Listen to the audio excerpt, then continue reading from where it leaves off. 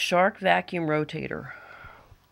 Completely taken apart, the brush assembly was not working. I don't think there's anything wrong with the motor or the belt. This little switch right here is supposed to stay up, indicating that it's off. And then when you lift it, this little button right here gets clicked off by this. And then the rotators start to turn. This is broke. So I undid a screw this right here, pulled it out, and then cut these two red wires. I'm going to strip these two red wires and put them together and then it'll work. When I want the brush to turn off, I'm going to have to physically turn the brush off. Other than that, it should work.